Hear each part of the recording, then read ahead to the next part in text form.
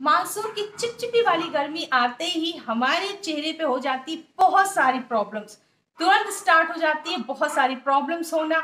हमारे चेहरे पे छोटे छोटे बम्स आ जाते हैं छोटे छोटे दाने आ जाते हैं पिंपल्स आ जाते हैं, जिनमें कि पस या आप बोलो मुहासों में मवाद टाइप का होता है जो कि पेनफुल भी होता है। और इस गर्मी में आपका जो पसीना है वो सूखता ही नहीं है। और आप कितना भी मुँह धो लो, कितना भी आप मुँह धो लो, लेकिन आपके फेस से थोड़ी देर के लिए जितनी देर आपने अपने फेस को वॉश किया, उतनी देर के लिए खाली स्वेटिंग नहीं होती बट जैसे ही आपने अपने चेहरे को वाइप आउट किया, फिर से वही परेशानी ऑयलिंग की। बहुत ज़्यादा ऑयल निकलता है, चेहरा चिपचिपा रहता है, दिन भर पसीने से लथपथ रहता है। आपके साथ भी ऐसा ज़रूर होता होगा। तो आज जो मैं आपके साथ रेमेडी शेयर करने जा रही हूँ डियर वो बहुत ही अच्छी और बहुत ही ज़्यादा बेहतरीन है। इसको आपको एक बार बनाना है और रख लेना है। आप इसको पंद्रह दिन, हफ़्ता भर आराम से इसको यूज़ कर सकते हो। अपने चेहरे को आप इसी से धोइए। और इतने अच्छे अच्छे मैंने इसमें इंग्रेडिएंट्स मिलाए हैं। अगर आपका चेहरा डल हो रहा है, इस मानसून में ड्राइनेस सी हो रही है, चिपचिपाहट भी साथ में हो रही है, चेहरे पे कोई भी चमक नहीं रह गई है, बिल्कुल पिगमेंटेशन हो रहे हैं बम्स आ रहे हैं पिंपल्स आ रहे हैं, बहुत ही ज़्यादा खराब हो रहा है चेहरा।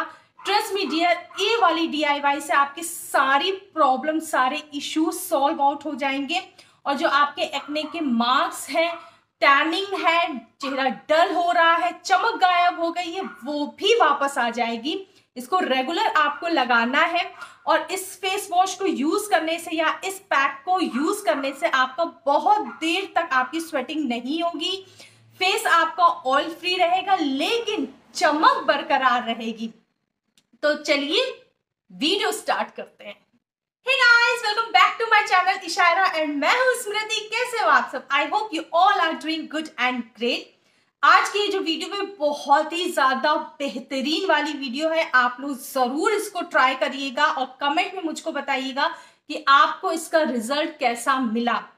ट्रस्ट मी मैंने फेस वॉश लगाना छोड़ दिया है। मैं अपना फेस इसी से वॉश करती हूँ। मुझे जब भी ऐसा लगता है कि बहुत ज़्यादा स्वेटिंग हो रही है, चेहरा गंदा गंदा सा लग रहा है, मैं यही मैंने फेस पैक बना के रखा है अपने वॉशरूम में। मैं इसी को लगाती हूँ। ट्रस्ट मी मीडिया में स्किन आप देख ही सकते हो, कितनी अच्छी फ्लॉलेस हो गई है। ग्लो आ गया है। ग्लो तो है ही है। साथ में जो चिपचिपाहट होती है, वो काफ़ी देर तक के लिए दूर रहती है, आपकी स्किन इतनी ज़्यादा टाइट हो जाएगी इससे कि मैं क्या बताऊँ, आपकी स्किन पे शाइन आ जाएगी, आपके चेहरे पे चमक, इतनी अच्छी चमक रहेगी, बहुत ही चेहरा ग्लोइंग रहेगा, आपका बिल्कुल फ्रेश रहेगा स्वेटिंग की प्रॉब्लम काफ़ी हद तक दूर रहेगी। पिंपल्स निकल रहे हैं, वो भी कंट्रोल में रहेंगे, वो भी निकलना बंद हो जाएगा, क्योंकि ये जो रेमेडी है, ये इतनी डीपली क्लीन करेगी आपकी स्किन को, अंदर से पोर्स के अंदर से आपकी सारी मैल, धूल, मिट्टी, गंदगी, पसीने की वजह से जो बैक्टीरिया उत्पन्न हो रहे हैं हमारी स्किन पे, उसको ये हटाएगी। तो जब आपकी स्किन क्लीन एंड क्लियर रहेगी तो फेस पे प्रॉब्लम्स की संभावना भी काफ़ी हद तक कम हो जाएगी। आपका फेस बिल्कुल क्लीन हो जाएगा।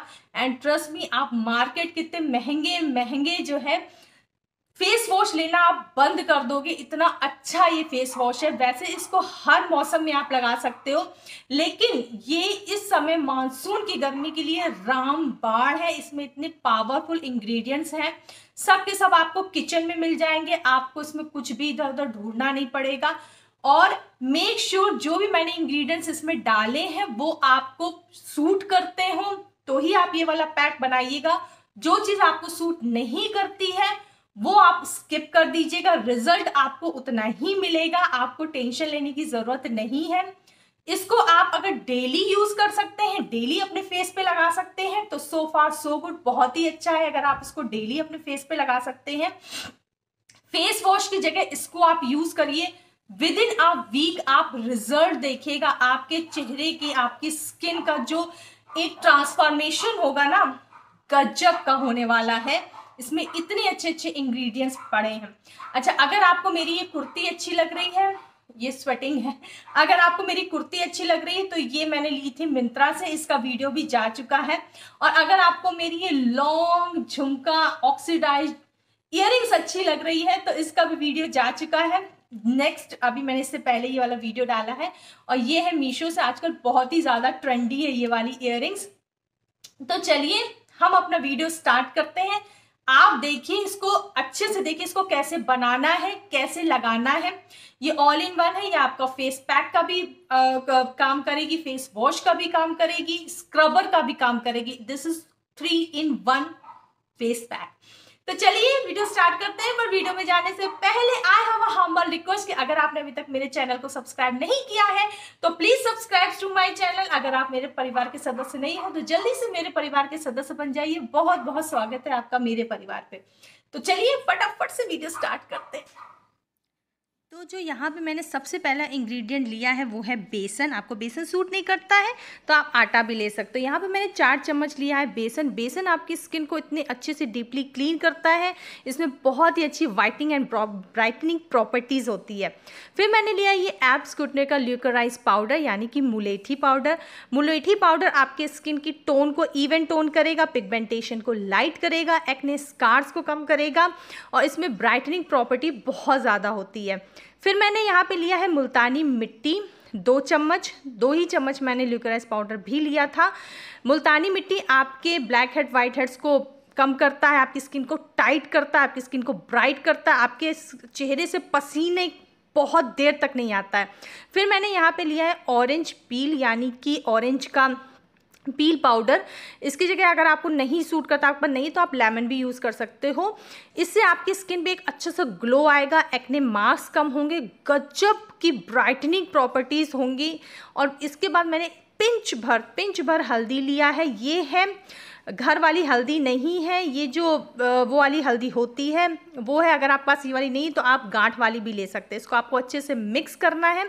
अपने फेस को क्लीन करना, यहाँ मैं बेयर फेस पे बैठी हूँ, मैंने अपने फेस पे कुछ भी नहीं लगाया, फेस वॉश करके बैठी हूँ।